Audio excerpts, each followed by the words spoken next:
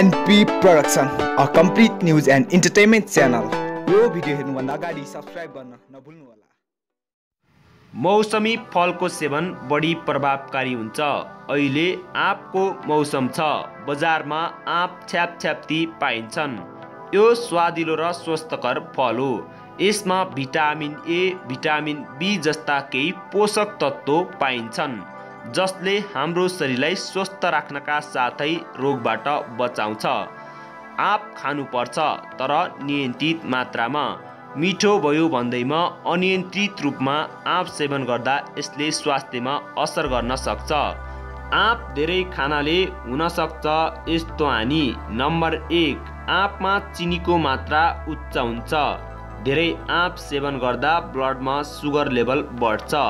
यसले खास गरी मधुमेहका रोगीलाई नकारात्मक असर पार्छ। नम्बर दुई तौल नियन्त्रण गर्दै हुनुहुन्छ भने धेरै आँप सेवन नगरेकै राम्रो। धेरै आँप सेवन गर्दा तौल बढ्छ।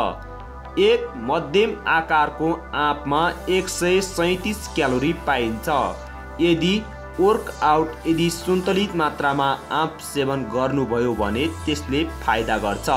नम्बर तिन आँपको टुप्पोमा जुन तरल पदार्थ निस्कन्छ त्यसलाई सफा नगरी सेवन गरियो भने गलामा समस्या हुनसक्छ साथै यसले ओठमा पनि समस्या ल्याउँछ।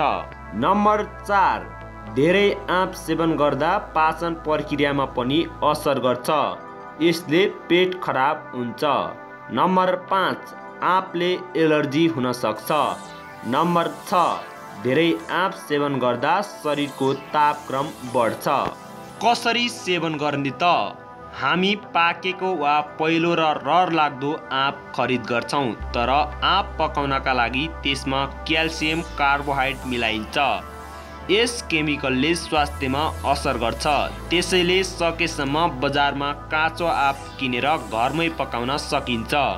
बजारबाट आँप खरिद गरेपछि यसको एकातिरको टुप्पो काटेर पानीमा डुबाउनुपर्छ। आजको सामग्री तपाईँहरूलाई कस्तो लाग्यो तलको कमेन्ट बक्समा प्रतिक्रिया दिन सक्नुहुनेछ। यस्तै नयाँ नयाँ भिडियो समाचार र मनोरञ्जनको लागि हाम्रो युट्युब च्यानललाई सब्सक्राइब गर्न नभुल्नुहोला। धन्यवाद।